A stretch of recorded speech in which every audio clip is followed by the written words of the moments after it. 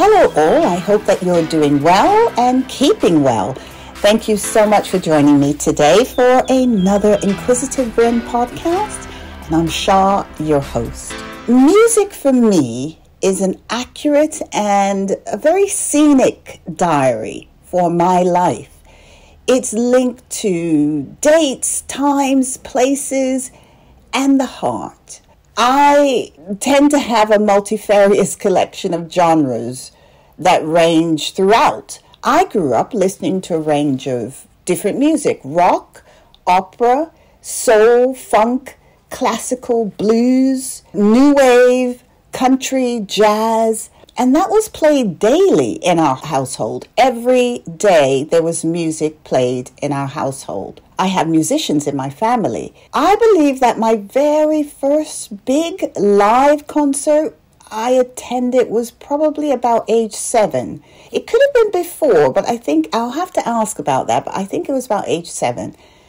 And the last big concert that I attended was was Aerosmith in Hyde Park, London in 2007. I still frequent Ronnie Scott's, but I'm no longer comfortable attending large events my energy is just too heightened and it's far too draining for me. I pick up everything around me. I'm, I'm, my energy is just very sensitive. So I pick up everything.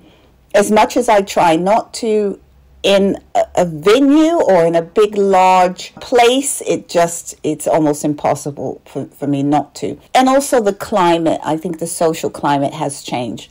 Although I have to say, I throw, I throw all of that out of the window for Sade and a Led Zeppelin reunion.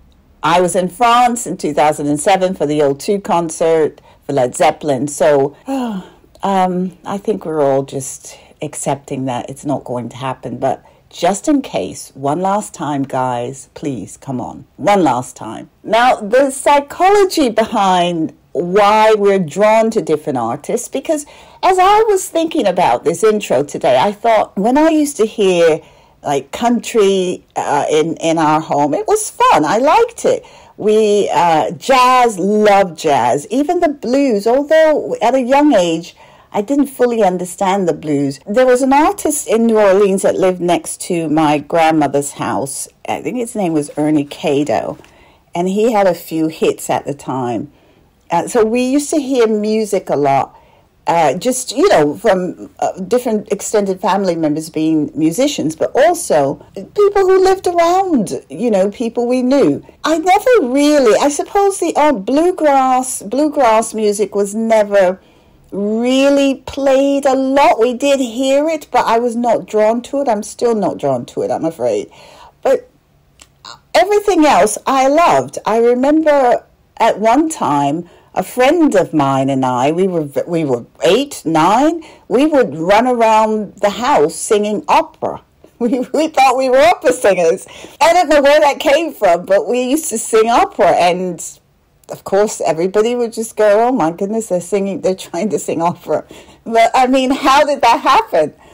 And um, of course, we used to try and belt out uh, you know, the sounds of Steve Perry and Journey and hitting, trying to hit those high registers. But why we're drawn, I mean, the psychology behind why we're drawn to different artists and different genres, different music, it's the same as why we make other choices. It, and it's really simply because we seek more of what gives us pleasure and also of what gives us pain. So, this is why we seek to listen to sad songs when we're very sad or happy songs when we're happy. Of course, this depends on variables. There's always going to be variables in there. We could talk about the brain. You know, I'm not going to go that into it, but I'll just quickly say the frontal lobes interpret music's emotional content. So if we're sad, you know, the frontal lobe there is doing some work. If you want to listen to sad music, the cerebellum processes rhythm. So you may be drawn to very, very melodic rhythm or something that makes you want to dance or you can't help but sway. And the right temporal lobe interprets pitch. So, you know, sometimes we often want to hear, well, I do, very loud music or very soft very soft music. Although you can blast Tchaikovsky, you can. Yes, so this is why, depending on your mood, you may be drawn to hard, you know, core rap or rock music, seeking dominance, or you feel that you're in control, or at least that someone else is in control of what they're doing. And this is all psychological. So I would say in my top five favorite artists, because this is so difficult, so this is why I'll just say top five, sits a multi talented musician. I say musician because that's exactly artist. Yes, artist is such a wide net to, to cast. He this this is a musician, and his name is Prince. Today, I have the pleasure of speaking with Michael Dean, who has dedicated a podcast to Prince and is somewhat of an expert on all things Prince. He developed a blog very early on uh, about Prince, and he was actually invited to have a private online chat with Prince to discuss being involved in creating Prince's website at the time. Prince was an innovator, especially uh, online. He was one of the very first to start to utilize the whole idea of being online and everything. So Michael declined to be involved, but he then started his own website that evolved, eventually evolved into the Prince podcast, now known as Podcast Juice. So we're going to talk about that. Michael has a passion for art, and he is an author as well, living in Seattle in the USA. He had a career in music as a hip hop artist, and Afterwards, he moved into the business side of things. He's also a sci fi buff. So he's written a book called Truth's Destiny, the Destiny Saga Book One. It's out now. Michael's art has been featured in Macy's department store in Seattle. I'm really pleased to speak with Michael today about his life, how he became interested in music, Prince, the future of music, where he feels it's going, which Michael believes could be in the form of AI so we talk about his thoughts about that on where he thinks music is going, which is very, very interesting. I'm a lover of vinyl and live music. Gosh, I, I cannot, the number of concerts, I still have some of the tickets from way back when, some of the tour programs from way back when some of the tour programs from the last concerts, like Whitney Houston, Tina Turner, I saw Janet Jackson. I still have all those tour books. Oh, Earth, Wind, and Fire as well. Now, I'm a lover of vinyl, live music, bands. I, I really prefer bands. I'm not someone who likes to just, unless it's somebody who, like Sade, of course, who can stand up. But then you see, Sade is backed by this amazing, multi talented band, which is Sade. But so that band, oh my goodness, it just takes you places. So anyway, they, I get, I, when it comes to music, I can digress. So I'm a lover of vinyl, live music, and it just brings to me the sounds, the smells, the emotions of my soul and my spirit. I can feel a violin, a cello, a saxophone. It doesn't have the same appeal for me as let's say, a synthesizer. Although I really ate up the 80s infusion and I loved the synth. I loved synth music in the 80s, not so much the 90s. I didn't like all the stuff that was going on in Ibiza, I'm afraid. I, for me, I had to feel something. And well, I like to watch I think it's because we were talking about this the other day. I like to watch the fingers touch the keys, the strings, the horns, the, the the sticks hit the skins. I want to see the mouth part to emit sounds. Uh, anything short of that would be probably my worst nightmare. I get lost in the improvisation of what a band produces by just sharing a stage or a room as a collective.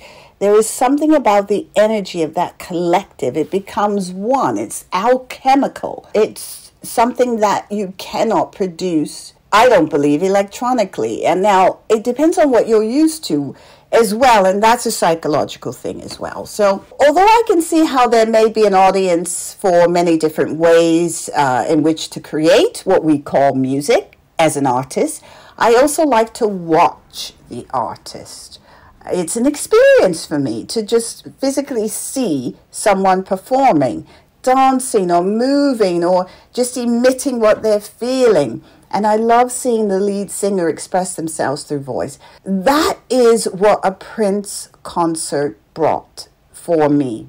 All of those elements, every single one, you felt it. You felt everything he was singing. You felt, and also the there was an extension of him through his other groups like the Time and Vanity Six, and there was an emission. I I believe it was an extension of him. So when you saw those groups, it was him. It was a part of him. Anyway, that and that you see, this is why I don't believe that you can separate the art from the artist. That's a whole nother podcast for a whole nother day. But I have a psychology behind that. I'm not just saying it for no reason. Uh, you know, people want to own their music and own the, what they do, and then they don't want to perhaps be associated with how they live or, or what they do. I, and how, so, how can you separate that? Uh, but anyway, that's a whole different thing. So, although I can see how, you know, there may be an audience for many different ways, I, Prince brought that to me in concert. He brought that live experience, but also you saw his fingers hit the keys, the strings, the skins, you know, his drumstick, he played the drums, everything.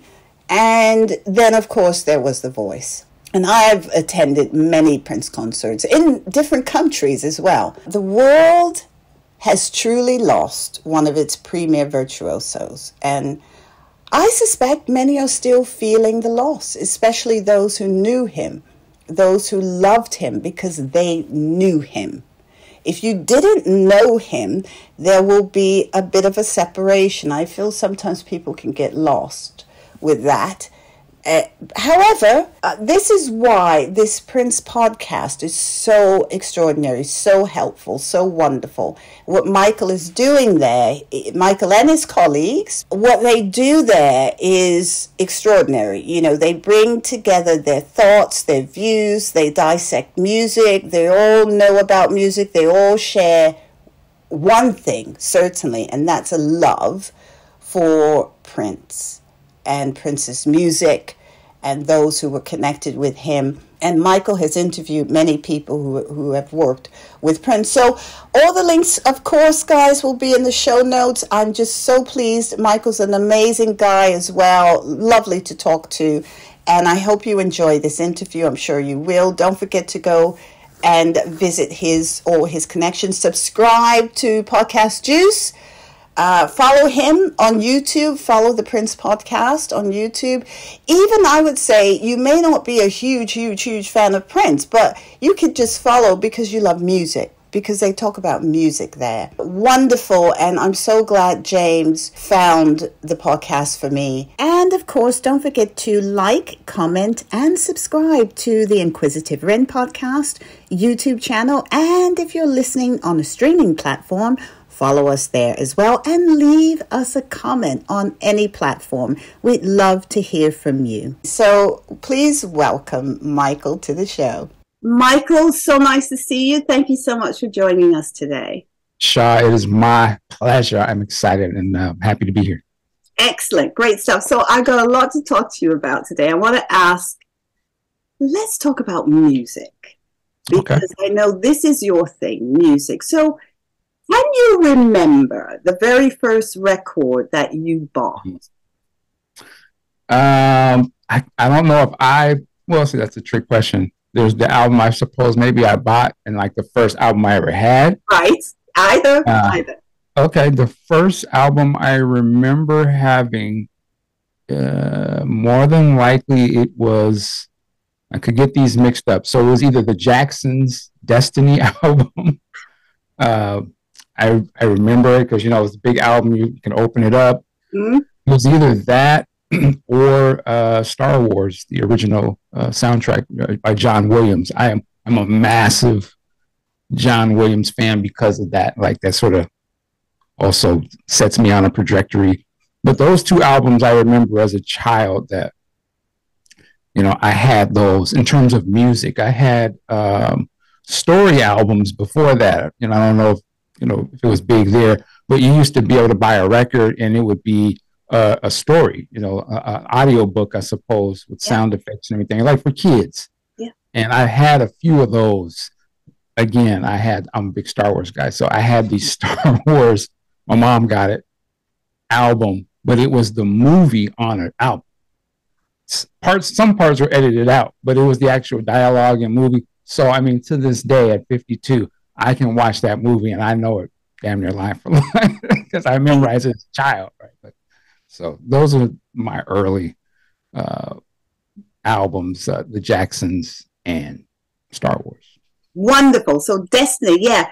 From what I recall, that was I think it was orangey color. Destiny. Did it have shake yeah. onto the ground on that one? Yes, it did. Yes. Yeah. Yep. Yep. Yeah. The cover. It was like a.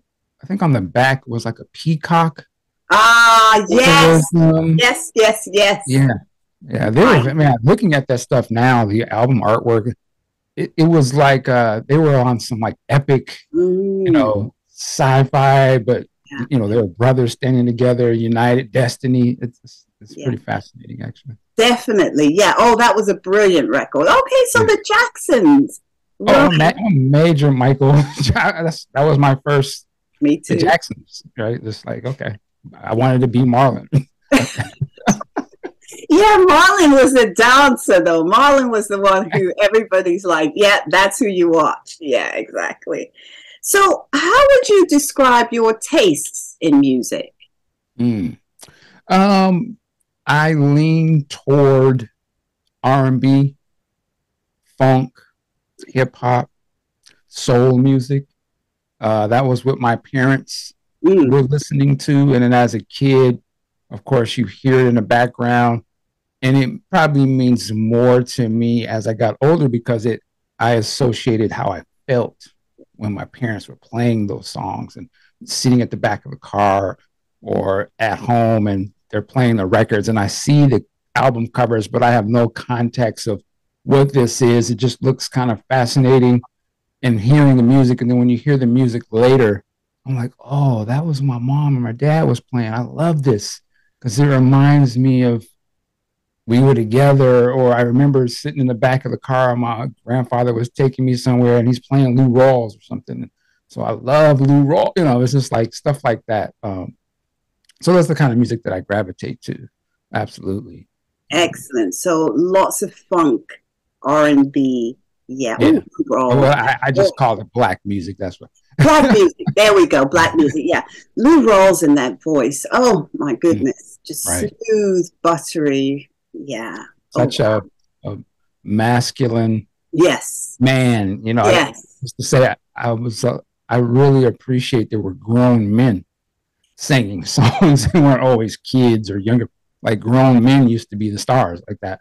You know, that was such a great thing to see that visually too as well. Okay, that's my dad and them, or yeah, he's a person of authority, but he's has that soothing voice, like right you said, right? So it speaks to you in a certain way. I think we're missing that actually.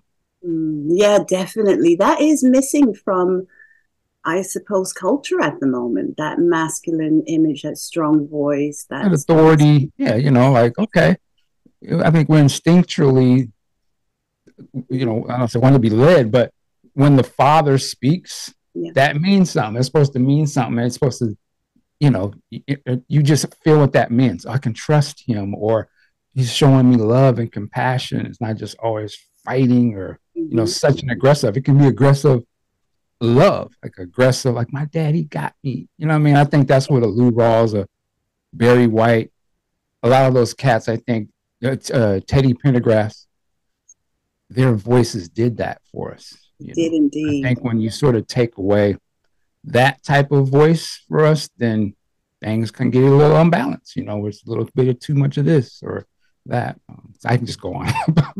Well, that's really interesting point as well. Billy Paul just came to my mind when you were talking okay. about them as well. Mm-hmm. Wow, yeah, mm-hmm. they were huge in the day. Um, it, you could almost, you know, as I'm thinking about as we're talking, you can almost see like a shift in the tones of the vocalists through the years. So, like, if you look at the time, we're talking sort of 70s, sort of shifts into the 80s, and you know, I brought up the Jacksons earlier. Michael's voice is a different type of voice. It's a very that's your little brother, that sweet child, you know, sort of becoming a man now at this age voice, but it that's what it represents, that innocence. Mm-hmm. Like, oh, look at little Michael. That's we all have that little prodigy young man in our family. We could identify with Michael, why that was special. You knew where that sort of came from, his dad, and, and him sort of pushing that up.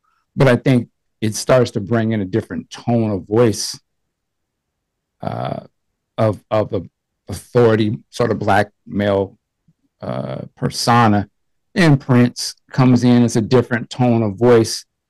Of course, visually it shifts from a very masculine strong presentation to they had to mask it almost yeah. to be accepted to a wider audience. But I think when you listen to the voices of the singers change over the years, I think there's a correlation between in terms of the culture, mm. how it sort of changes too. Because again, I think the next strong male voices you hear coming off of sort of the tonal shift from Marvin and those to Michael and Prince is rap. Mm. Uh, the message again was the strong. It was a different. It was from a different environment, but it was that strong, authoritative voice. You know, Chuck D from Public Enemy was that strong. He almost he almost had a preacher's sort of here it is. You know, he he took the preacher tone and put it in a rap type of almost, and we didn't even know that's what he was doing, but so powerful. And then, of course, that's a very strong, authoritative voice that captures the entire generation. Oh, we can stand up. Yeah, we're gonna have to take this. That you know, yeah, fight the power.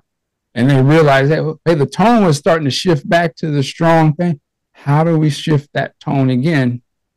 Because that message is saying is so powerful. Those people, I think that's when you start to see the it's the same tone of voice, but the intent behind it changes. Gangster rap and sort of the themes that that speaks of. Still a very strong masculine voice, but now it's not talking about love anymore. Wow. You know, talking about some other stuff. And I think we're sort of in the aftermath of that right now. Like, we got to get our community back to that strong love. It's okay for the strong voice to be about pulling us together and, and loving our women or, you know, some of these other things, which I think, uh, and I'm going to get off my rant. I think a Tupac started to speak toward that with the Dear Mamas and the Brenda's Got a Baby. You know, he had that very strong tone, but he was talking about some love stuff too. But I think the other voices in his hot head was a little more powerful. No, go back to the gangster stuff.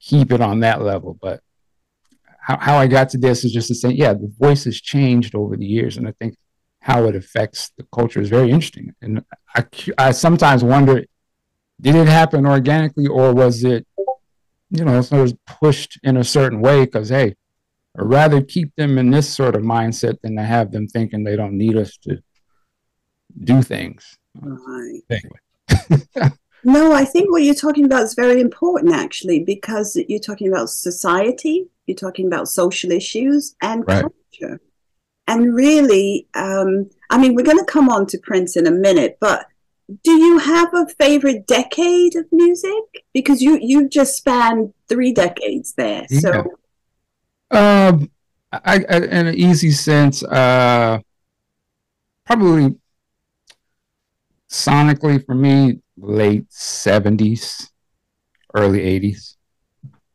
You know, I suppose seventies and eighties is sort of really my core. I'm from the eighties, so that's what I know. But I love hearing the generations prior to that, like the 70s, just the way they recorded the music seems so full and thick and the different voices. Uh, just, yeah, I mean, such a variety. Uh, of music and people who, even like, um, there's even like some uh, like people like Kenny Loggins and Michael McDonald.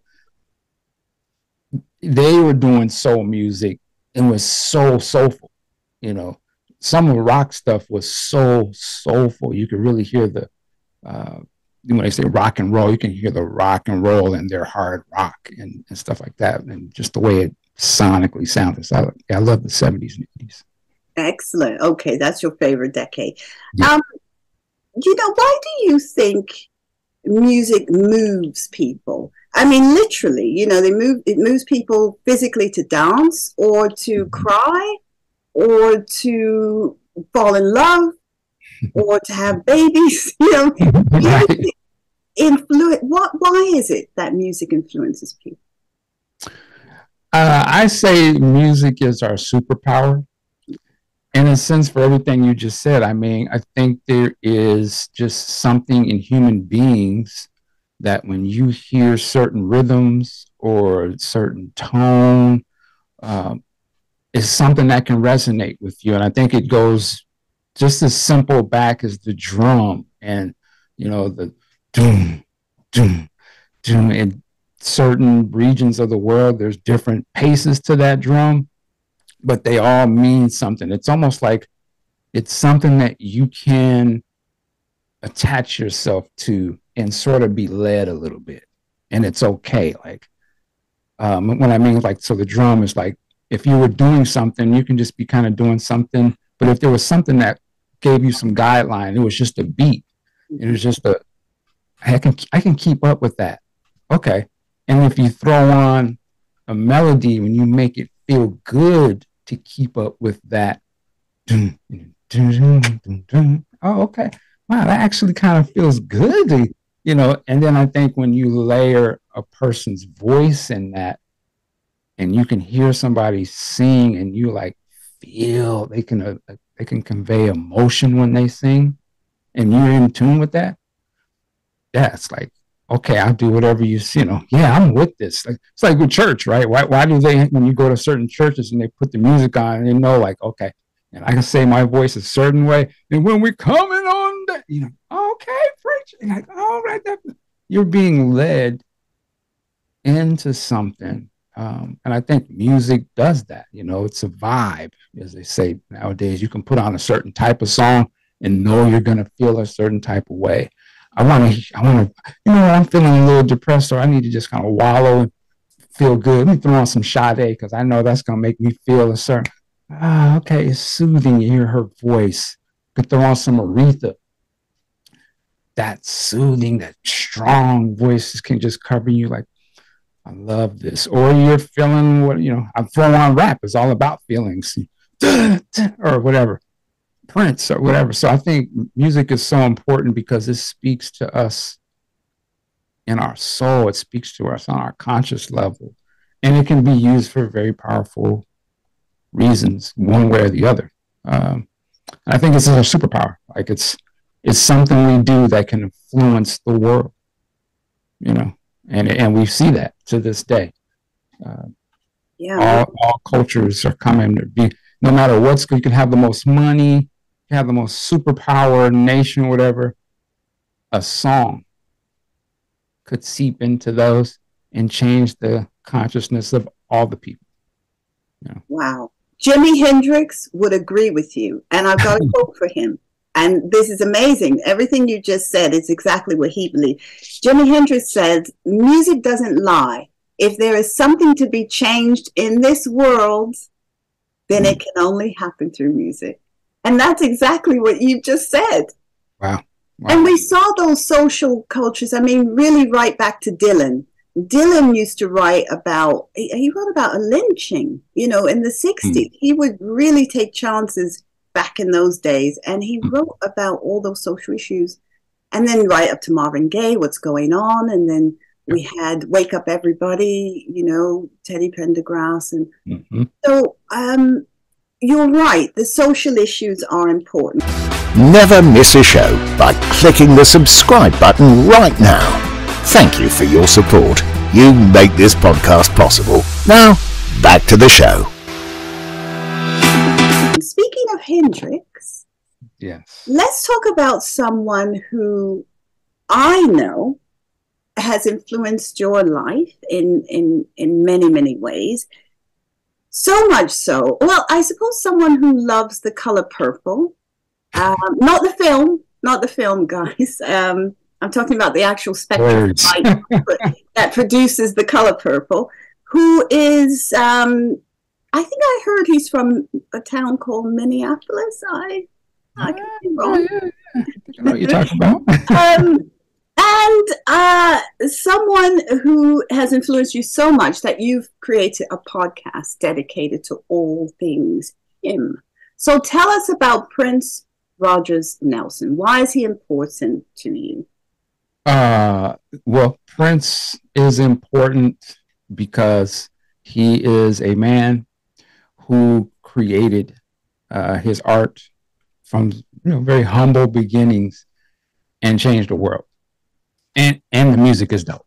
That's the simple thing to say. I think he's important because on many levels, uh, as African American, you can trace the lineage of what came before him, and he was a perfect vessel to push it to the next generation.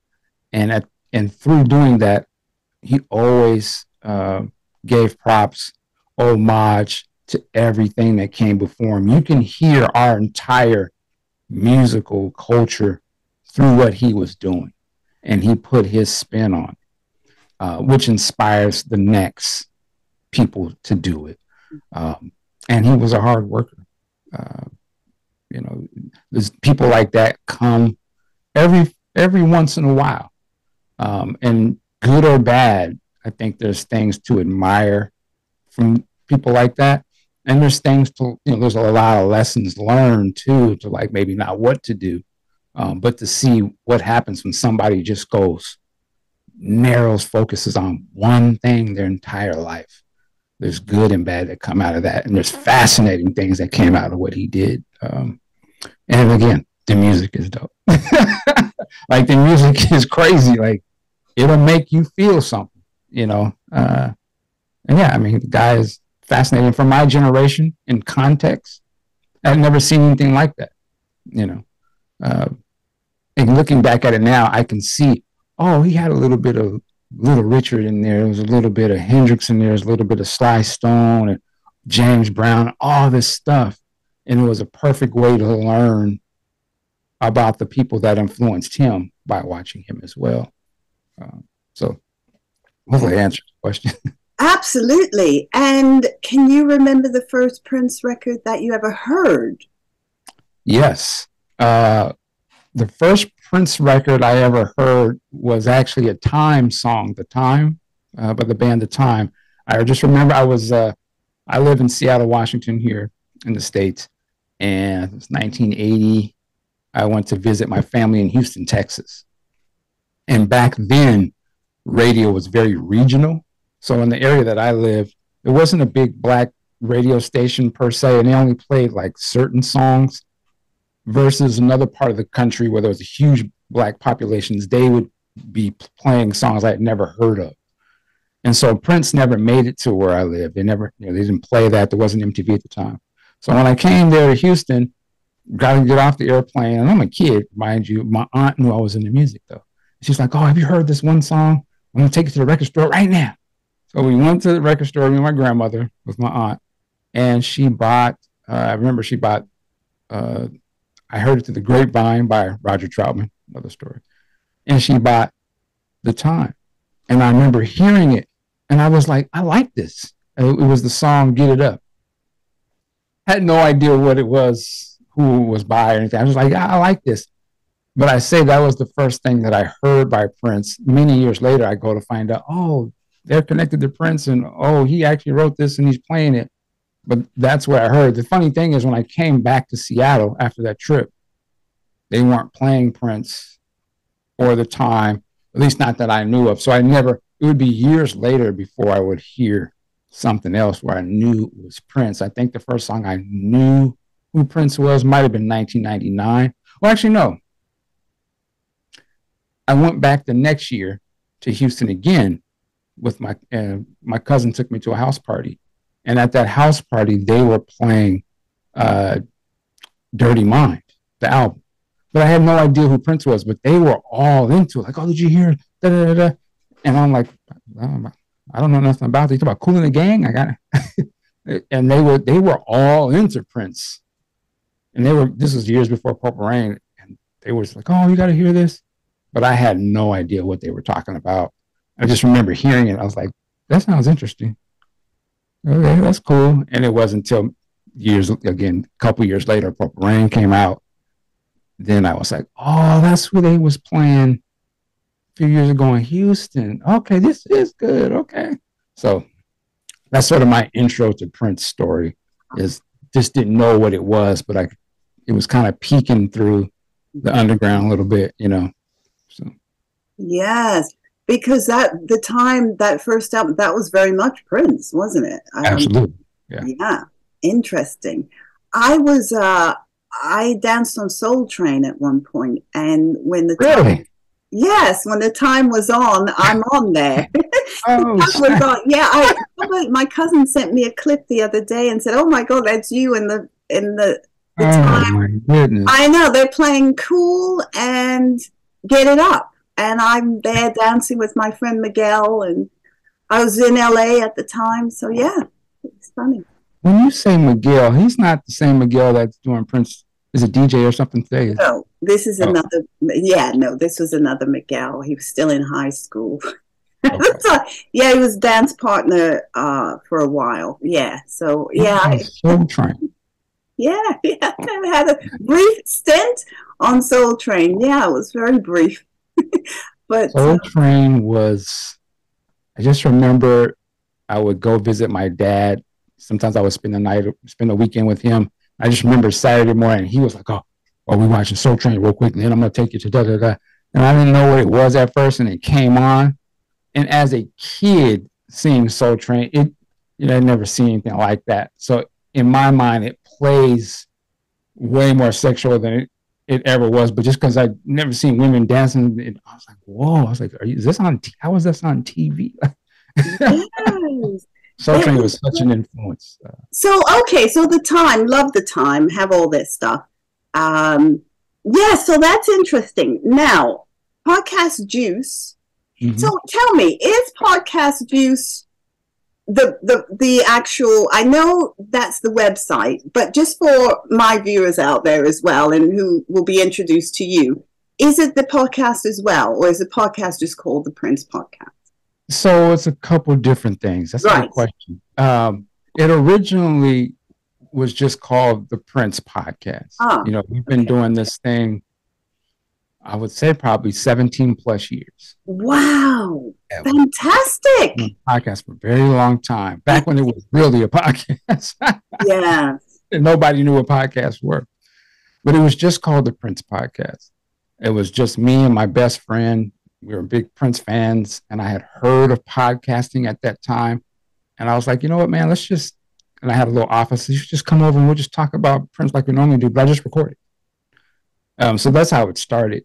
Wow. And for many years, that's what it was called, the Prince mm-hmm. Podcast. It wasn't until I think it was after Prince's passing. Actually, it was where I had to change the name, or I agreed to change the name because the Prince estate, I suppose, you know, they came to us and was like, "Hey, you know, that makes it sound like this is our podcast official type of thing."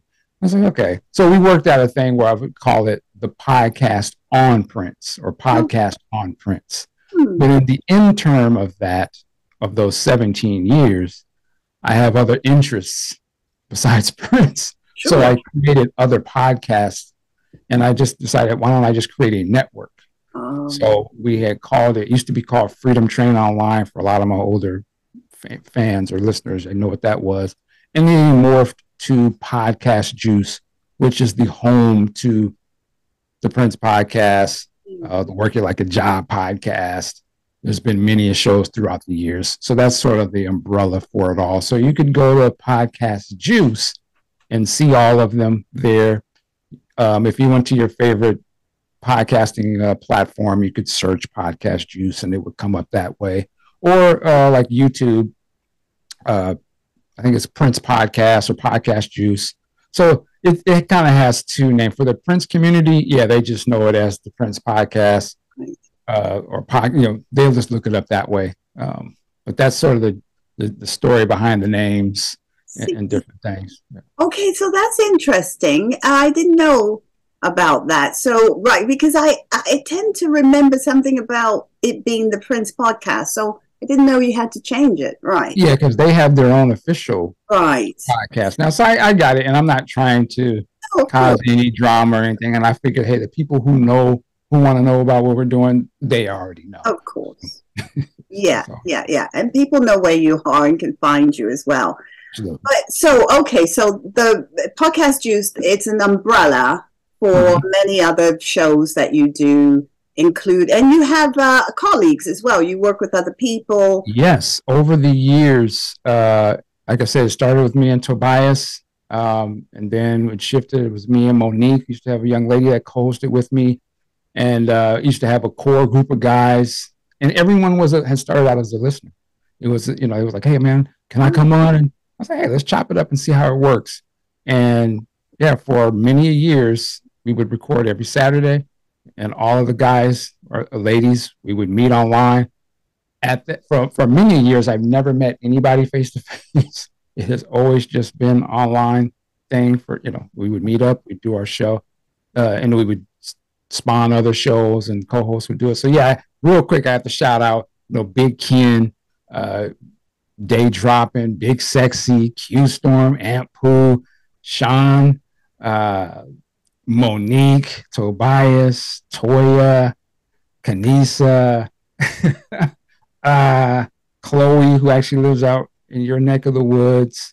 Um, if I'm missing somebody, I apologize. But yeah, we've we've had great uh, team members, family uh, that do this with me for sure. Wonderful. Oh, it sounds like a brilliant team, and they all do different bits. They bring different uh, elements to. Yeah, yeah, absolutely. And and in their own right, they're all like doing great things out in the world and have these great careers. As I'm always just like, wow, you guys want to work with me? Like I'm just doing this. You guys are like big time lawyers or um, working in Hollywood and different things. But it's cool because we all sort of have the same. You know, we're all brought together because we love Prince music. Exactly. You know, so I always think that that's that's another reason why Prince is so great. Like the community that has spawned around him uh, is incredible because there's a lot of talented, beautiful people uh, that I met through being a Prince fan, and I think a lot of them have that same ab- admiration for his work ethic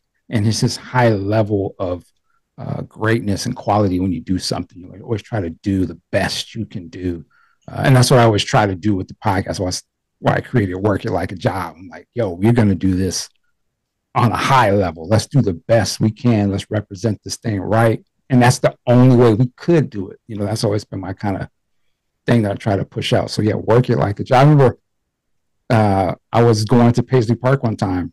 I think it was the celebration or something. And I was walking outside and there's like a there's like a highway that goes in front of that building. I don't know if you've been there. And I'm just walking up toward the building and somebody was in a car and they just yo, Michael Dean working like a job. And just kept on I was like, all right, that's what's up. There you go. and I was like, wow, that's crazy. But yeah. There you go. What was it like for you when you did visit Paisley Park? Uh, the energy, because I'm always interested in the mm. feelings that things produce for us. What was it like? I'm going to ask you this. Have you been there before? No, I haven't. Um, it was, uh, it was incredible yeah, I'm a long time Prince fan. I first time I went to Paisley Park was in 2016. I think so. All of those albums and all these years being a fan, never been there before. Uh, me and my best friend started the podcast. We went together, and it was for the Prince piano on mic- piano on a microphone show. Yes, it was the debut of that.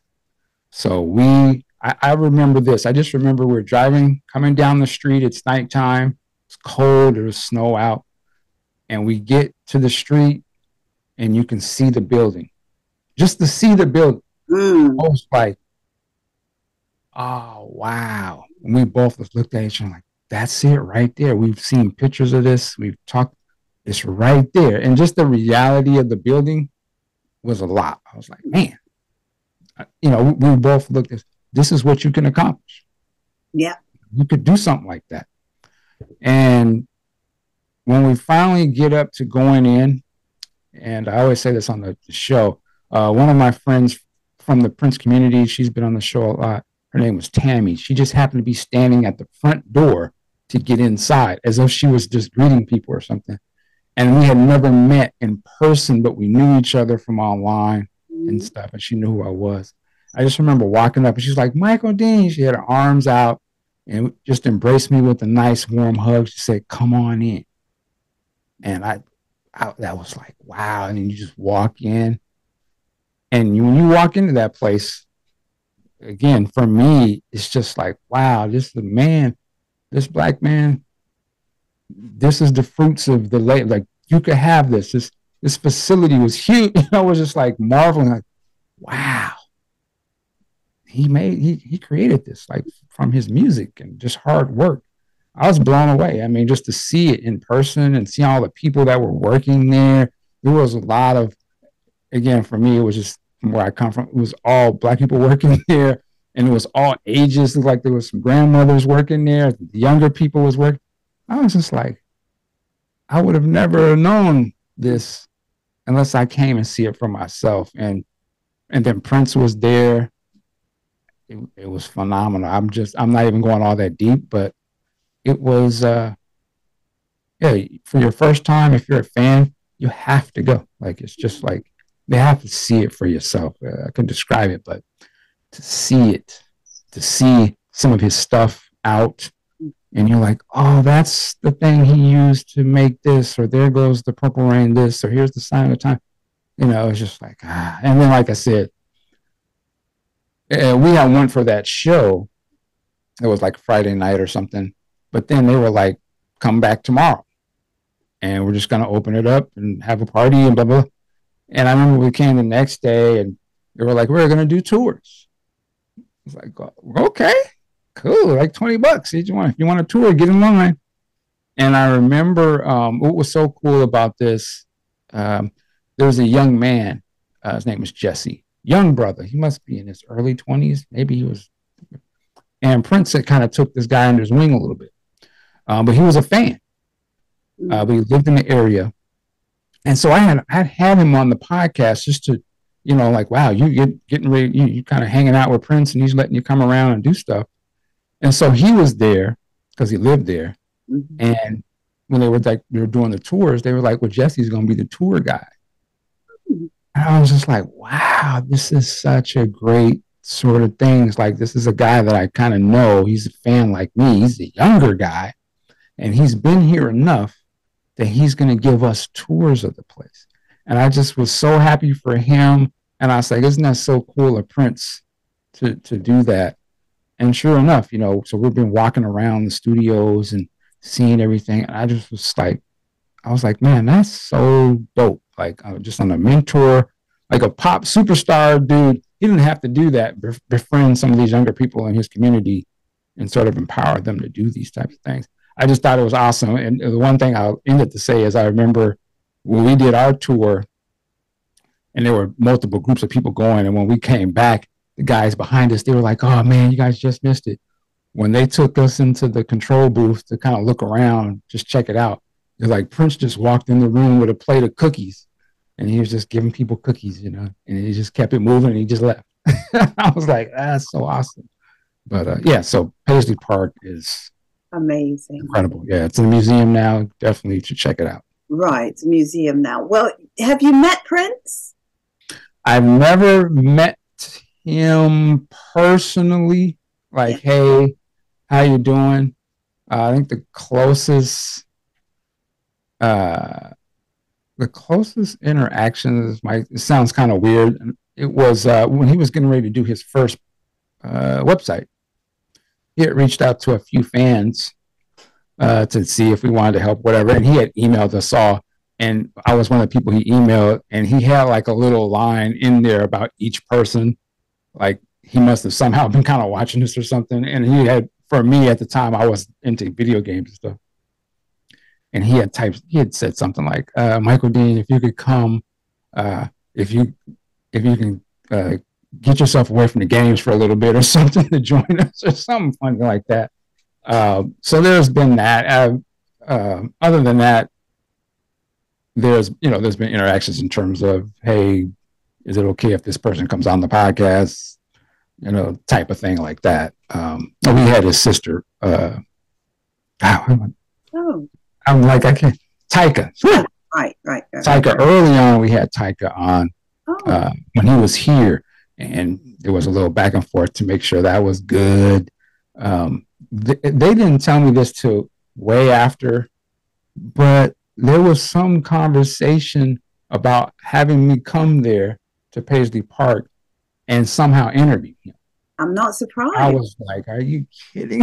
I would have, you know, but it didn't happen. But I just was, it was definitely, definitely aware of the podcast uh, for, for, good or bad reasons. Sometimes he would block some stuff, but uh, yeah, there was. But yeah, I it was one of the things is um, as much as I would have loved to have met him. I, I don't know, like you know, sometimes it says, they say don't meet your heroes and I'm not a type of person. I know the type of person that I am where I come from. There's only so much kind of foolishness that I sort of will engage with when you have to deal with certain people. So it might have been good that it was just let me be the observer and I'm just giving praise, you know I mean? And then once he sort of passed, we just shifted to, yo, we're gonna really hold up Prince and make sure that you know, we we show them love and respect and spread the word, you know, type of a deal. But never, yeah, like I said, never met him like at least not that I know. I've been to concerts when he came to Seattle and I'm just sitting in the front and he'll give me the he gave me the microphones like, what's your name again? and type of thing. But I don't know if he knew who I was at that time or not. But uh yeah. You've had many encounters though, it sounds like. Many yeah, yeah, yeah. yeah. yeah. Whether Hmm, interesting. Um, you know, that takes me to that fateful day uh, when we all, yeah, heard the words that mm, I, I, suppose nobody was really expecting. Uh, you know, with Michael, we kind of saw his decline. We did. We saw how he was looking, how he was behaving you know, with any sort of cognizance, you kind of knew that Michael wasn't well. Um, but with Prince, there was no, except for the obvious plane landing and all that, right. that that right. happened. Uh, but then the following day, you know, he was reassuring people and all sorts. So it was one of those things. So for you, and I know many people remember the day that so and so passed and everything else. What were your feelings about when you got the news, and who who gave it to you? Who gave you the news?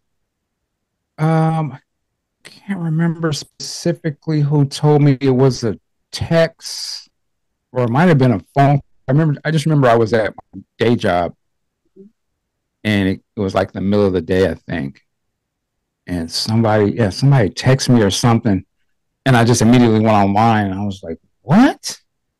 And I was just crushed. You know, it, it was like you knew the person or something. I was just like, I couldn't believe it, and I just I had to go home. And I was just like, you know what? Yeah, I don't know if that sounds weird or not, but I just said, you know what? I'm not going to do anything. I'm not, I'm done for the day. I can't do it. And I just had to go home and you know on the way home you're starting to see all the you know information's coming like they don't know for sure they knew for sure you know and uh, what we ended up doing that i got home and i called the fellas up and said yo we need to get on the mics right now.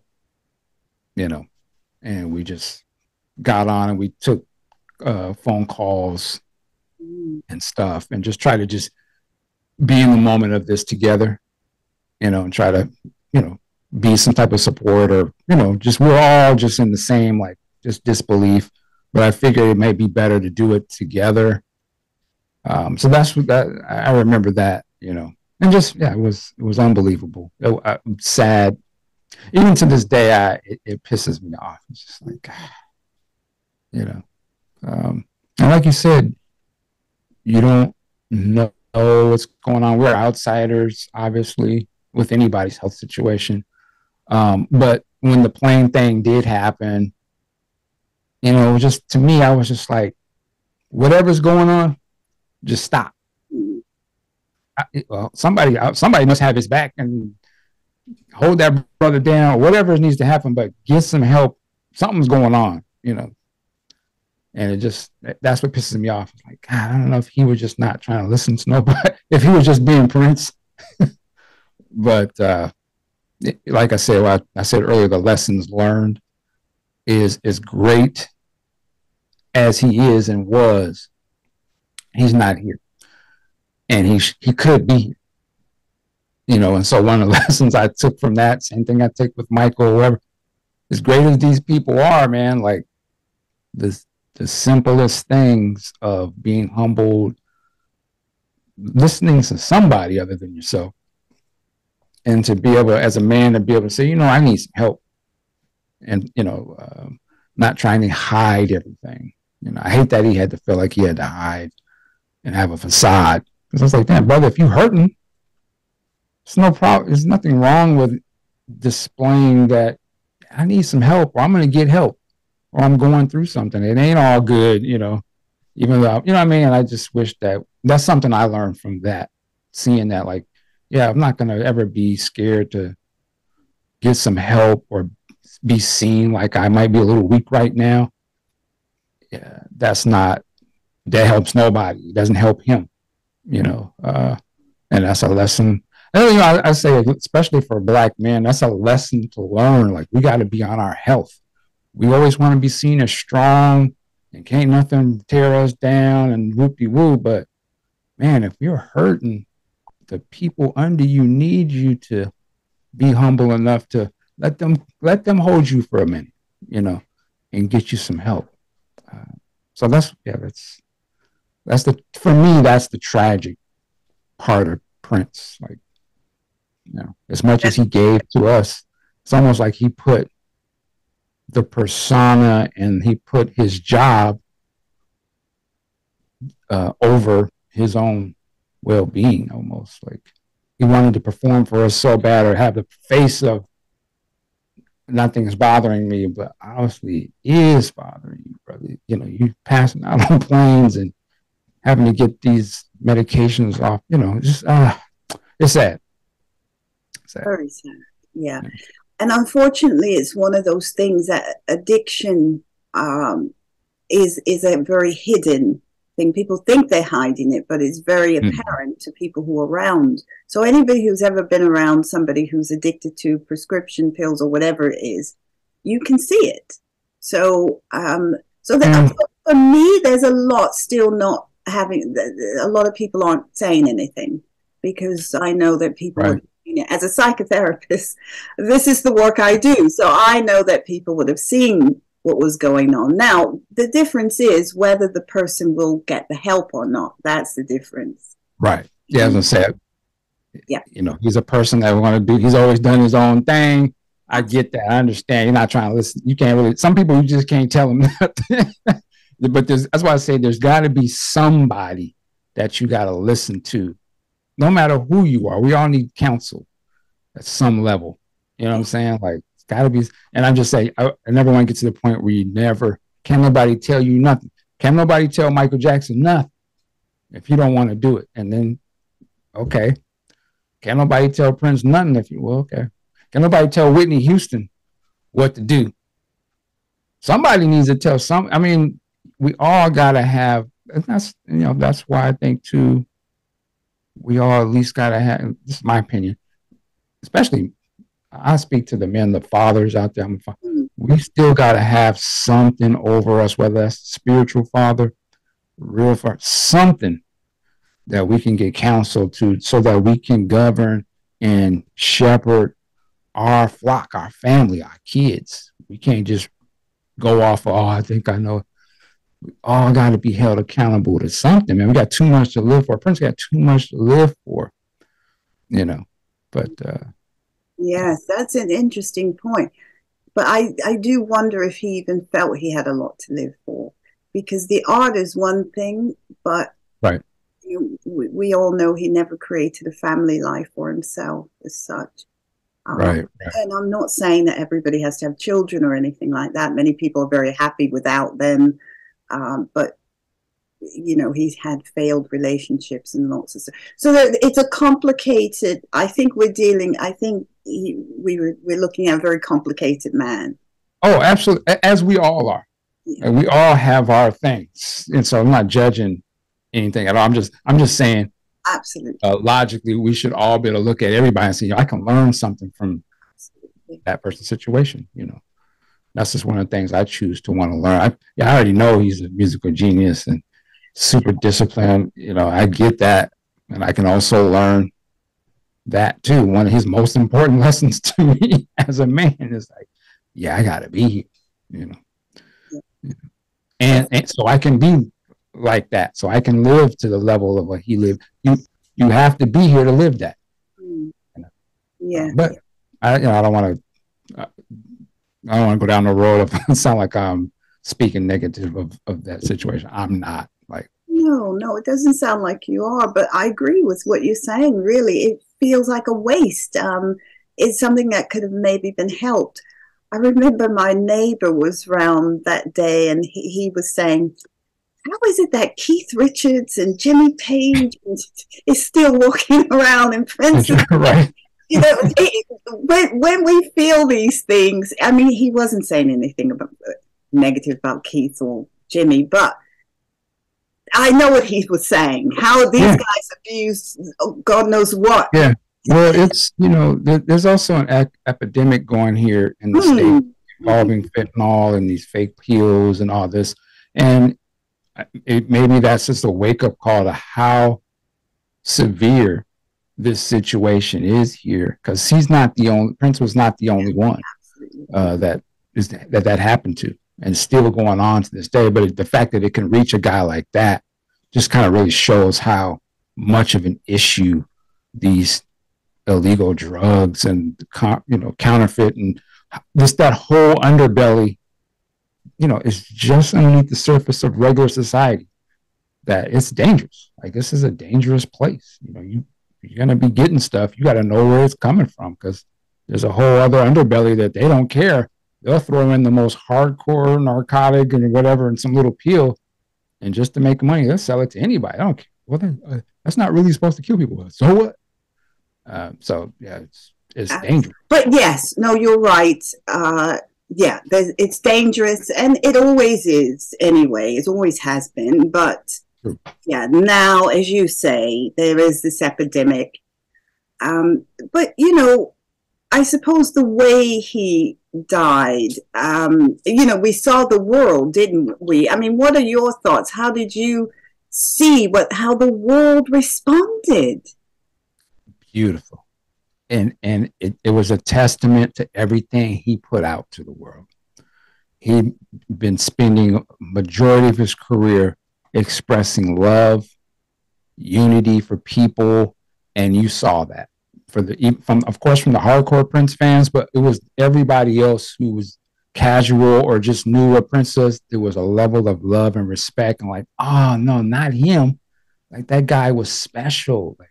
And I, I can't remember what it was. Was they were you know all the purple lights Australia. around the world and stuff. Yeah, it was beautiful. Like it just again, it goes to show that's our superpower you know, and it was appreciated.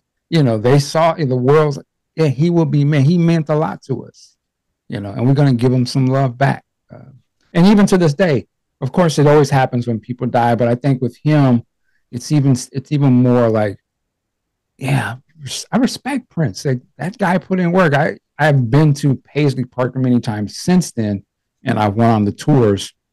And the last time I went, it were people there who weren't hardcore Prince fans. They just came into town and they were like, "Oh, there's you can go see Prince's house," and they came and they were just there. Wow, this is great, and they were learning and they just appreciated. You know, they were like, "Yeah, this guy's incredible. I, I want to see this." And so I think it's you know, it's great. You you see everything that he put out.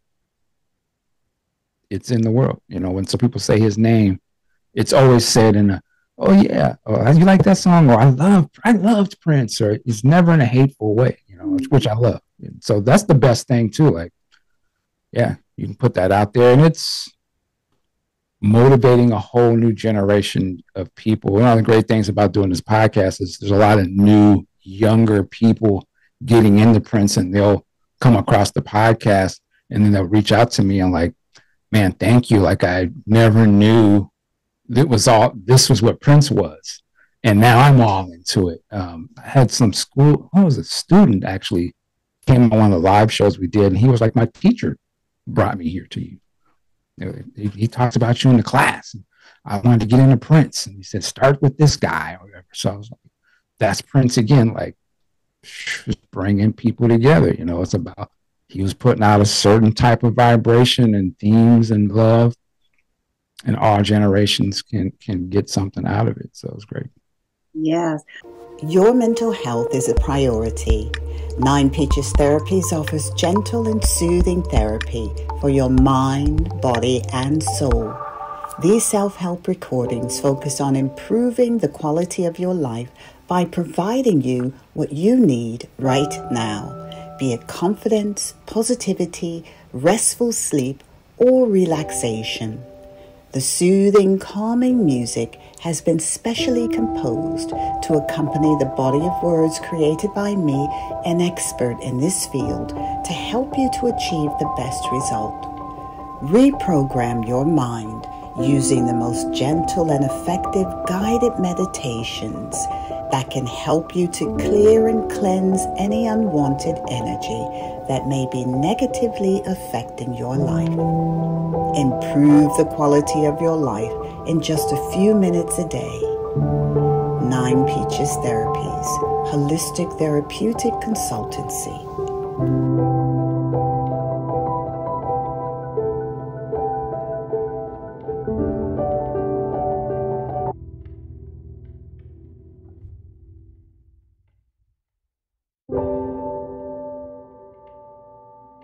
I was going to ask you about that because um, I noticed that there are these reaction channels uh, now that people are, the younger generation are listening to. Um, I mean, it's something I can't get into, but I know, you know, James has shown me people reacting to Prince, and I'm like, okay. uh, but, but, what are your thoughts? Have you seen any of that, or what? what yeah, uh, I've seen them. I started doing some myself. Ah. Um, I think they're great. Yeah. Um, I love watching younger people's reactions to not only Prince's stuff, but even some stuff that was sort of outside of their generation. It's just interesting to see how they take it, you know, what they think about it. Um, yeah, I, I, I love it. I think it's a sense of discovery yes. for a lot of people, and it's a and it's a communal experience. You know, it's sort of bringing back the, hey, I'm gonna it's it's like almost like a radio DJ breaking a record for the first time, or at least to them, and you kind of get to watch now. But now we get to see it in a generational sense because there's the viewers who are the kids' age watching it who just might not see the big deal about it. But I think it plays really to the adults who were of age when those songs came out. It's more remarkable to watch. Oh, okay, he's actually this young man actually sees the artistry or what's great about this, and it kind of makes you feel good. Like, yeah, they're appreciating the stuff I was into in that time. That's kind of how I mm-hmm. sort of look at them, and I'm, and I I like the ones who can sort of articulate what they're hearing or what it feels like to them, and I love seeing them saying like, you know, I think I have heard this. I'm gonna kind of go down the rabbit hole a little bit more because I'm kind of digging this. And sometimes they'll even they'll say, Hey, this reminds me of some artist that they know of their time. And they realize, wow, a lot of the stuff that I like is influenced by Prince, for example. Um, I do the reaction from a different standpoint of I know these songs. Like yes. I know them note for note, word for word. So I give a different style of, of a reaction where it's more like, you may know this song too, because you're my age, but maybe I'm going to add something to it that you never even thought about when you were listening to this. Uh, and then, and then again, we play it together, so it's a communal thing. I actually do them live. Uh, we'll go for like an hour, and we'll just jump to different songs, and we'll talk about it, play them. Sometimes I'll be like, you know, this song sounds very much like this other artist's song. You're like, oh wow, and I see where Prince got that from, type of thing. So I think the reactions are a great it's a new communal thing that we never had before because they, they couldn't do that on TV and speak to us live. It'd be too expensive. But now with technology, the floodgates are open and anybody can be like, hey, you like this too? Cool. I like you like that. I like it. Well, check out, you know, uh, video game reactions is another big thing. Just people like to watch people playing a game and commentating. They see themselves. And my daughter is is she's into my, my younger daughter at seven. She likes to watch certain young kids play games. Yes. And I can and I understand. I I see why they like that. We didn't have that when we were kids. You know, you had to go over the person's house. Exactly. It was your buddy. They're like, oh, you want to listen to the new Prince record? Okay, I'll be over in a minute, and we'll sit there and listen to it together. Now you can do it with hundreds of people uh, yeah. from any background, which is incredible. Definitely. Oh, I agree. I think it's brilliant that they can do that. Um, I have 24 hours in a day, and a lot of it's spent doing other stuff. So I may look at a reaction now and then, but I can't get into it too much. Now, what I have seen uh, is some reactions to Zeppelin, because Led Zeppelin's always mm. been one of my favorite bands. But I just to mention, I think Prince was influenced by a lot of rock bands as well. I think the way he dressed. Uh, Robert Plant used to wear women's blouses, pretty much, you know, um, ruffles and everything. And so the early Prince, with all that, was very reflective for me with with a lot of that. Um, gotcha. And certainly Steven Tyler used to wear the scarves and and then the hair. Prince straightened his hair and at the time, the rock bands were all about the big hair. You know, Robert Plant yeah. had these golden curls, and Steve Perry Journey had that straight hair. And yeah, I would say if you go down their rabbit hole, I think you will see that they all got that from Sly Stone, which predated absolutely, absolutely, absolutely, yeah. all filtered down from somewhere. And even Zeppelin got all their blues from Sonny Boy Williamson and B.B. King and every, all the other right. black musicians from the South. Absolutely. And so this generation, the reason why I bring that up, I want to ask you your thoughts about, you know, this generation. It's great that they're watching, you know, Prince for the first time. Mm-hmm. But how how is the new generation going to be inspired to get back into playing live music? Put away, put put away, drop the auto tune, um, write some inspirational lyrics. How's that going to happen? Because it see, you know, you opened the, the, the interview tonight with some interesting things about how the trajectory, how we've moved. Mm-hmm, mm-hmm. Just wonder how we're going to get back what are your thoughts about that? Good question. Well, uh, this may shock some people. I, I, I don't think that going back to live instruments the way that we think of it is the move. Ah, okay. Now, times, society, civilization always changes. Yes. Goes around and different things. And I think coming from everything we just talked about in the 70s and 60s, 70s, 80s, 2000s, rap, you know, hip hop was sort of like, okay, we don't have the live instruments, but we are musical people. Yes. We're always going to be musical people. We're us being musical is not dictated by the tools it takes to make music. Okay. Us being music is here. is here the heart of what we do. We can be hand using our. We'll make music like that, and we're gonna make dope music no matter what it is. Mm-hmm. So to me, uh, it'll never be about the, uh, the the music being dictated by the instruments. Mm-hmm. Uh, so when I say that, um, yes, I would love to see live instrumentation, but I really would just like to hear good music. Okay. At the end of the day, however that is created. I think once you try to put a filter or or, or a stopgap and this is how you're supposed to do it, yes. then to me it's not going to be real music no more because you can't do that. That's not how creativity creativity works.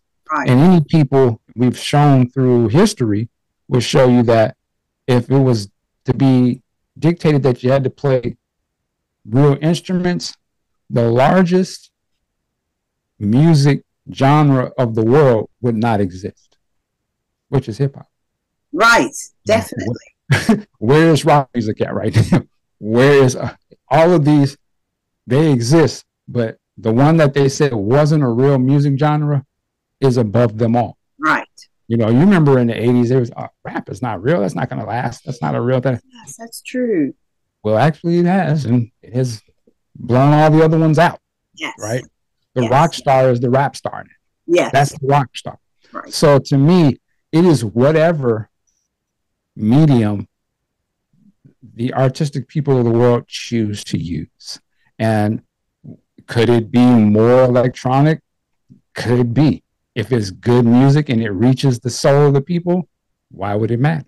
Mm. If what they're saying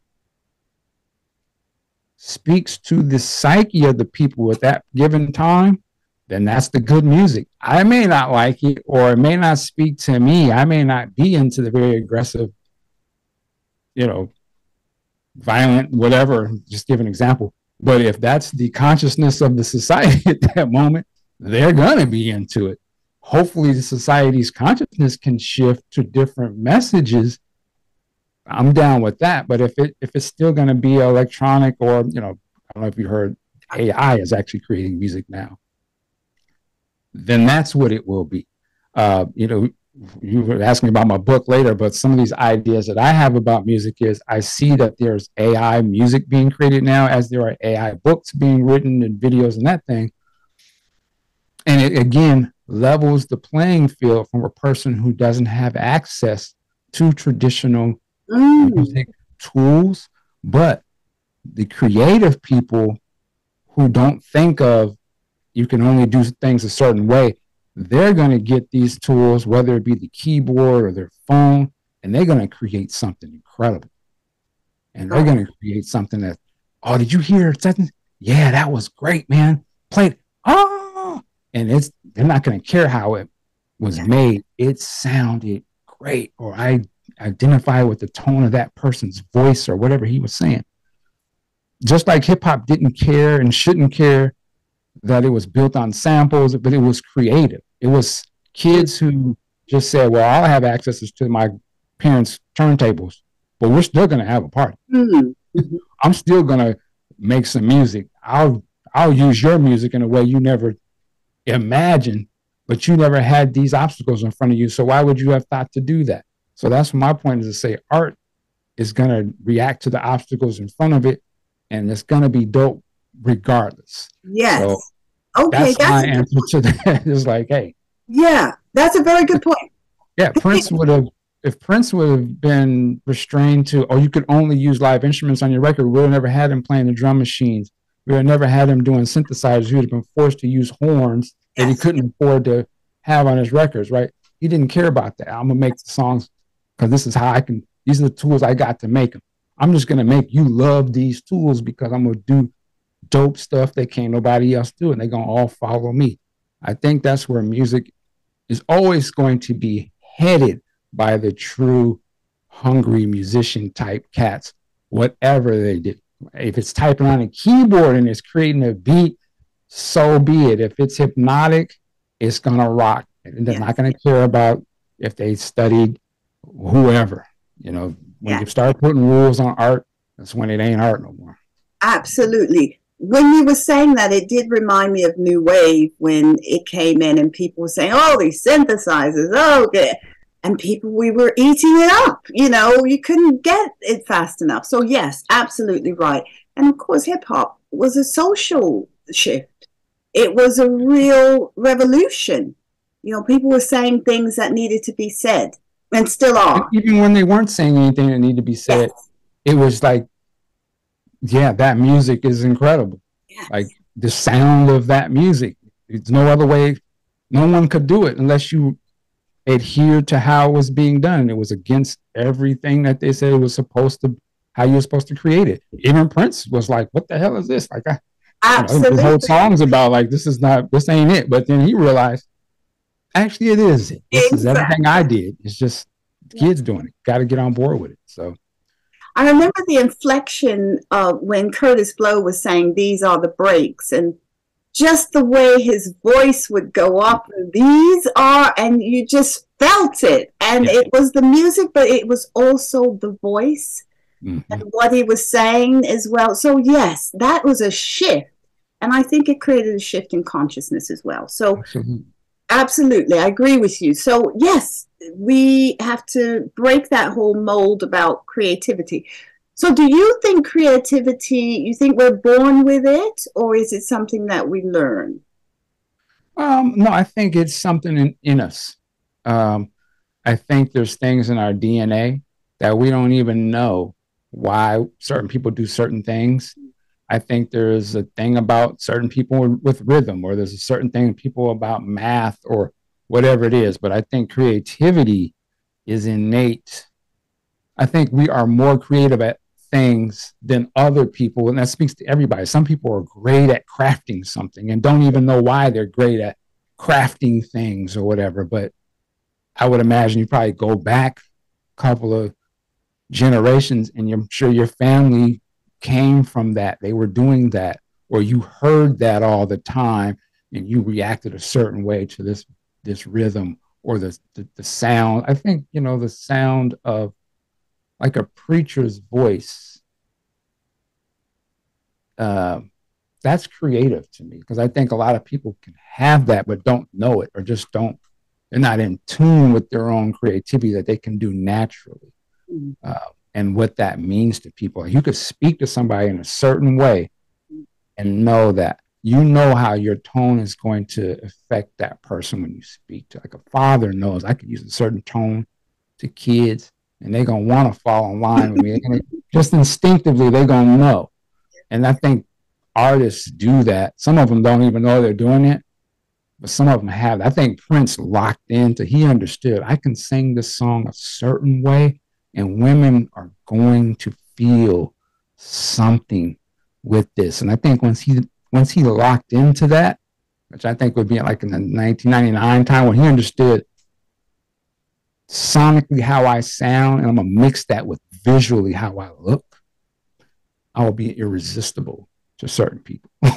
like, and he plays on it his whole career. Like, I want to make the voice and the presentation irresistible. Like he tapped into, he's not looking into, mm. he just happens to look a certain way or he's moving a certain way. No, he realized, I see the reaction this is getting.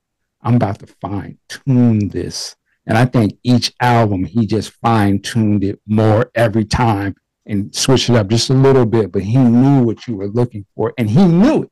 He gave off almost an energy like, and I know this is getting you. And you know, I know you, I'm getting you right now. Like, and you know, sort of throws that playfulness in it.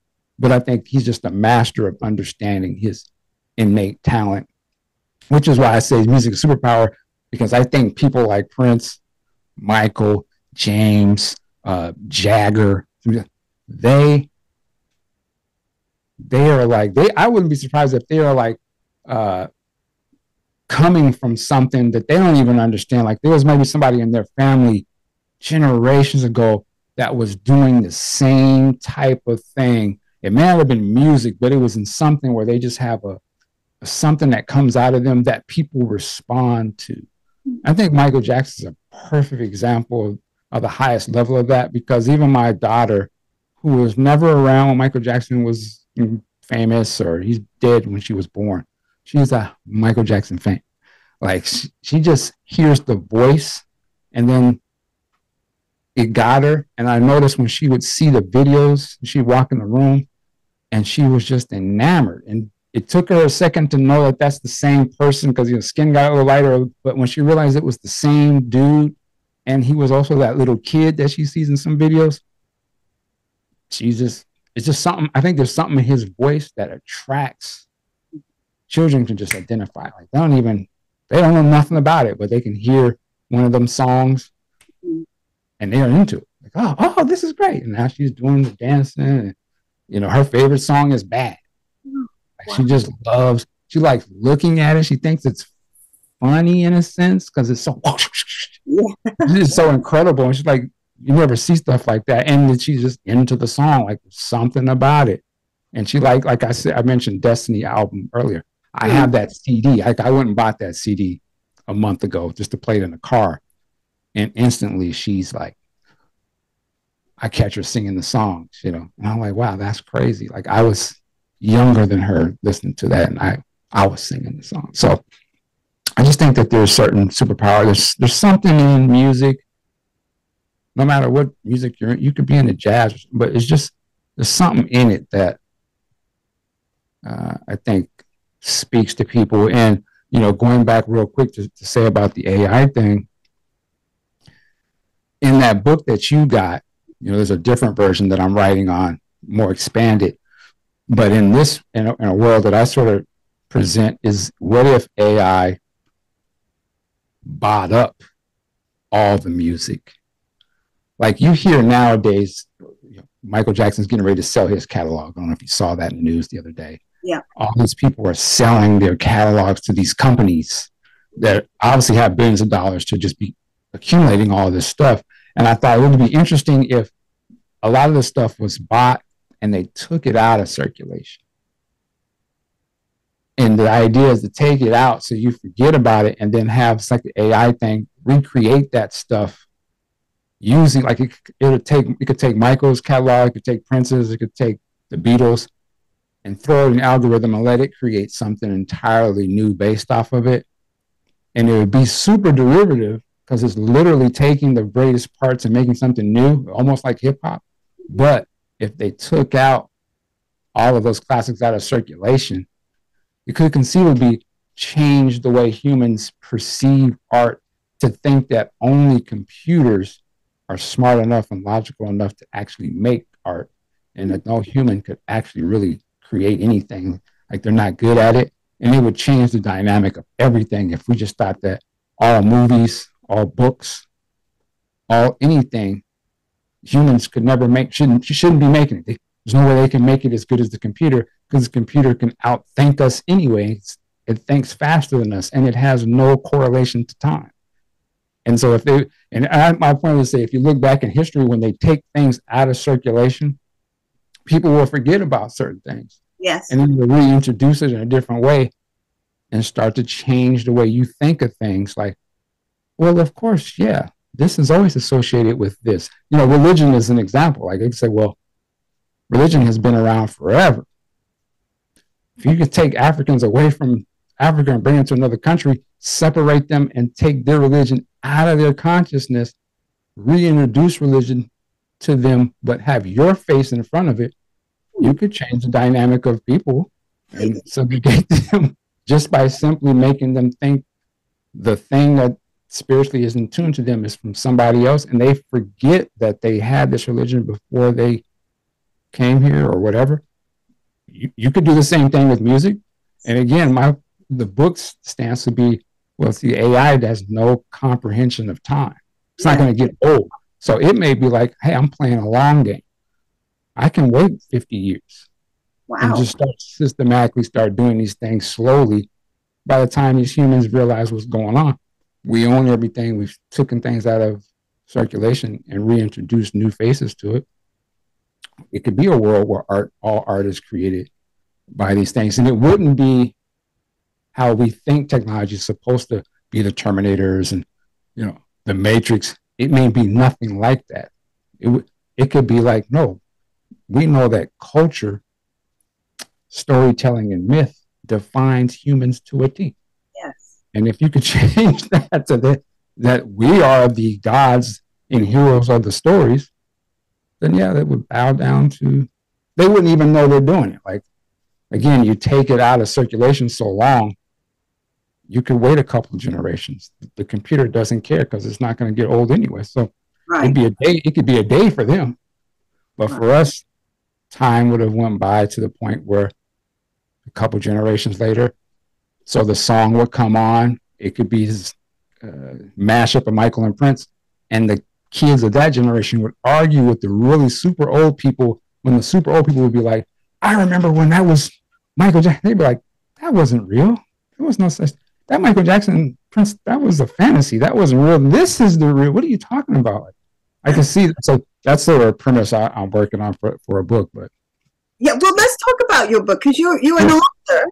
Um, you published a book called Truth's Destiny, the Destiny Saga book. So this is book one that's out, published in 2014, and you've just been talking about book two that you're working on. But so, this is a sci-fi book. Yeah, mm-hmm. this is a sci-fi book where you've made a black woman the lead. Thank you for that. Thank you for that. I, I just wondered why that hasn't happened before. So when I saw your book, mm. I thought fantastic. So tell us a bit about that. Yeah. So, uh, Truth's Destiny uh, was my attempt. As I'm a sci-fi guy, I'm a yes. reader. I, I want to yeah, yeah, yeah. be an author. I, I wrote that, and that was just supposed to be like a prequel for the grander story that I was going to tell. So this book that I'm mentioning, this new one, is actually the same book you got but the the real story behind okay. it. It's been expanded. So now it's I can tell you it's called Brown Sugar Messiah now. Huh. Uh, the character Truth changed her name to be called Messiah. Her, her name is Messiah, but people call her Saya. But uh, the book or the story, I'll just I'm going to tell you all the setup, and this is forcing me to really finish up on this. So the setup is kind of the same what you read. There's a spaceship that crashes into this concert that's going on. Well, actually, now what happens is this spaceship comes to Earth and is crashing. But who is on this spaceship that crashes? It is AI created versions, they're AI robotic versions of Michael Jackson and Prince. and wow. they crash into this concert that the lead character Messiah is at. Messiah, she is kind of like a hacker as well. She's a young girl, young black girl, but she is enthralled with 80s music. And this takes place way in the future. At this concert, which is the biggest concert in the world, it is these AI performing artists that are the biggest artists in the world. All artists at this point are AI android type people.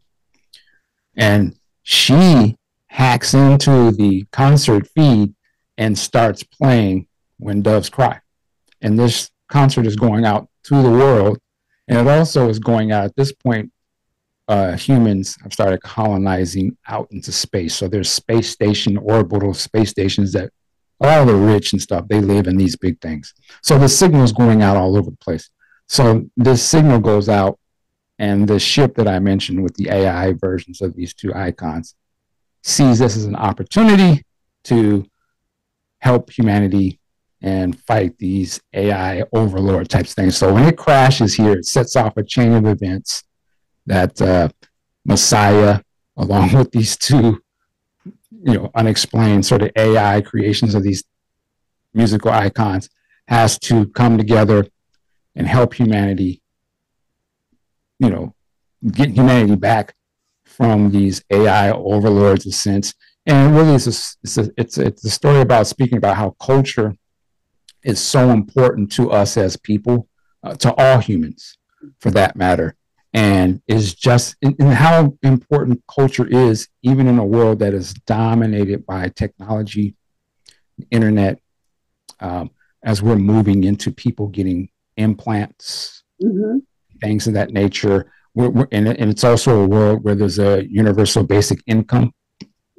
Um, and how does that affect things where you always are going to get a paycheck no matter what happens? But, you know, that opens the door for a lot of things. And it's so far in the future where some of the things that are happening today, you'll kind of see like, wow, how that played out a little bit uh, in the future. Some of those are funny, some of it could be very dark.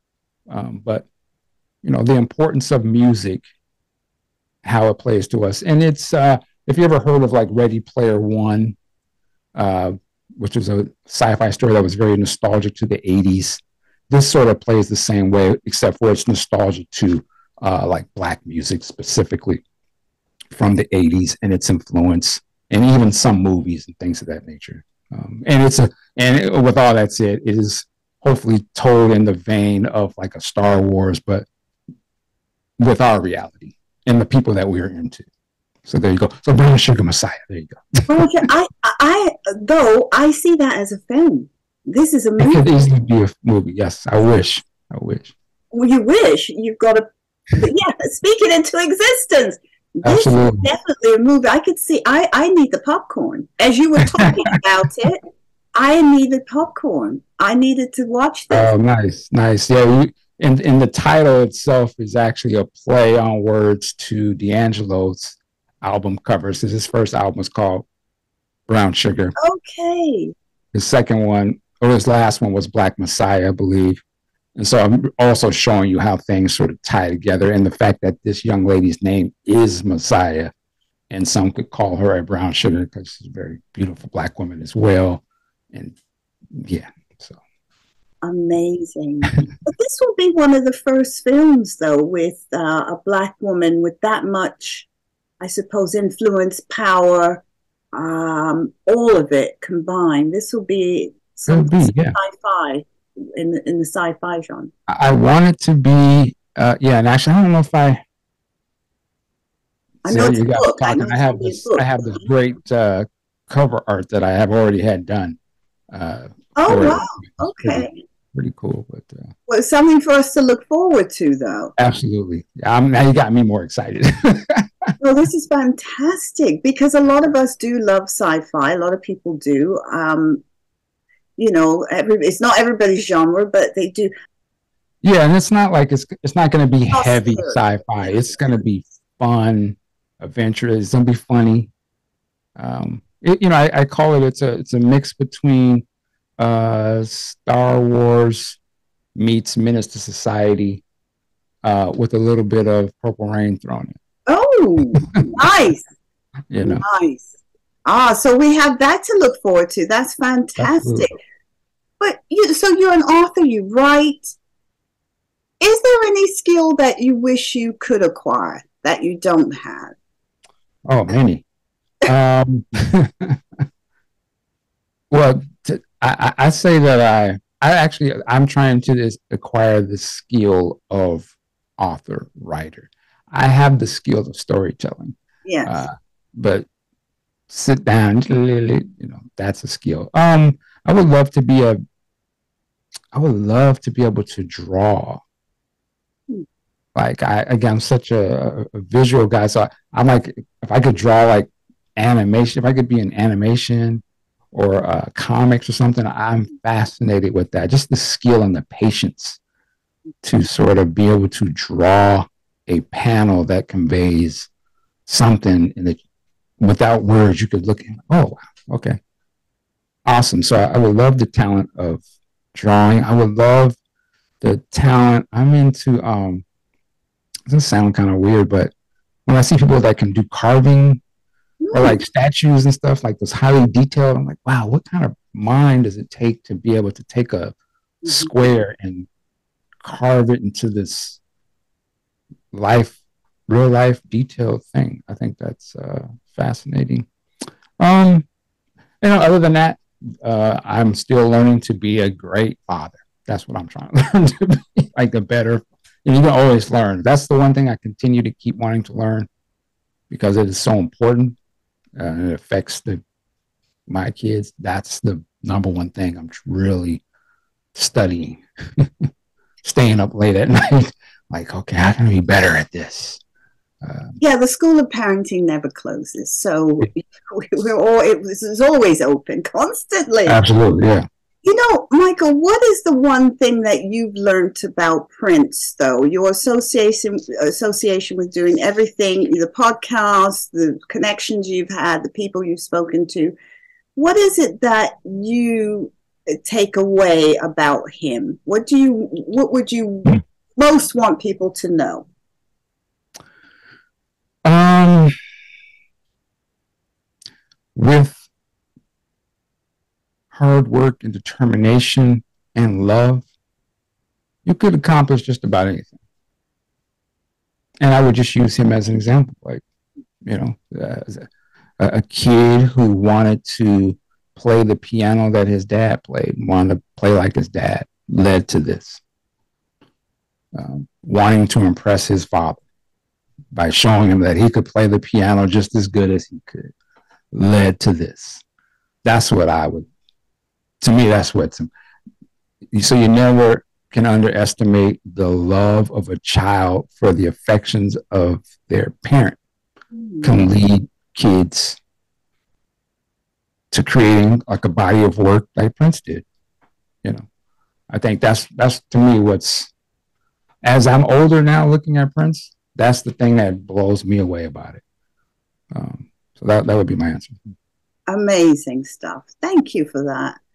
Wow, this has been fascinating. I've gotten to know a bit more about you as well and about why you do what you do. and we we're going to look forward to more amazing interviews and podcasts from you. All the details are going to be in the show notes, guys. Go and follow the podcast on all streaming platforms, but also on YouTube. That's the that's the big one. So you can. Yes. Uh, thank you so much for uh, having this conversation with me. This was uh, excellent. I, I, had a great time. Oh, thank you. Uh, thank you for coming on the show. It's been amazing. I hope you come back at some point. Absolutely. Oh, of course. Especially when this new, when this uh, second part of the book comes out. That's okay. Awesome. All right. Awesome. Yes. Thank you, Michael. Anything else you want to say before we go? Anything we need to look out for that's coming um, Interviews or? Uh, you know what? I would just say work it like a job. You know what I'm saying? and and uh, whatever it is that you do, just give it your all. That's it. You know, whatever it is, just loving somebody that you know, give it your all. Fantastic. Well, keep doing what you do because those of us who love Prince and his music, his legacy, appreciate everything you've done, all the work you, because it's hard work. Thank you. Um, all the hard work that you've put in and continue to put into it, and all your colleagues as well. So thank you for that. And um, we'll see you soon. See Thanks so much for listening today. Make sure you subscribe and follow on all streaming platforms. Leave me a comment and also let me know if there's any particular topics you'd like me to discuss. See you next time.